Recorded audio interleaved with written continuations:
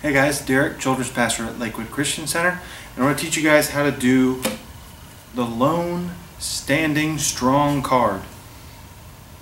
And what you need to do is get a deck of cards, and you get two cards out of that deck, and you want to make them into one card.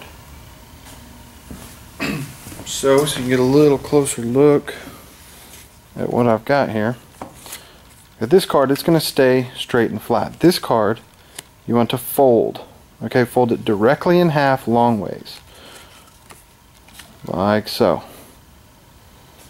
And then you want to, what you want to do is kind of give it another push back so that it doesn't push forward, so or push outward when the two cards end up coming together. You see how that still kind of looks like one card now because of the way I pushed it back.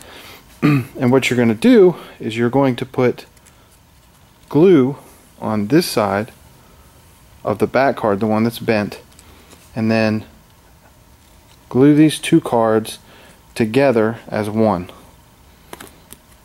Alright, so then it'll be one card, and what when it's all glued together, it'll have this flap on the back. So this can open up. So then all you need to do to make the, the trick work, you want to force this card when somebody picks it. Use any kind of force. I like to use the classic force. And as you take, you take your deck, you put it to the side, and you'll stand the card up like this. And when you do this, you're going to push.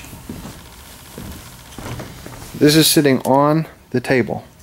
Let me get it in the camera view here. There we go. Sitting on the table like this.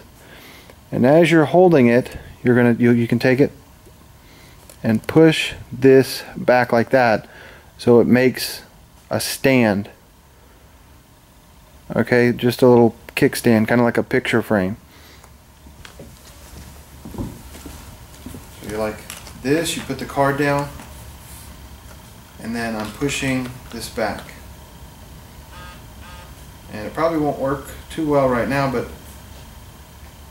since it's not glued together.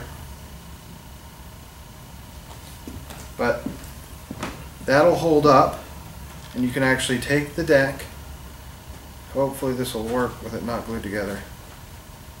And sit the deck on top of what looks like to be one card standing up. That looks great so that's that's how simple it is to do this. Um, force the card anyway. Um, some other videos have ways to force a card. But uh, any questions is asked. See you later. Enjoy it.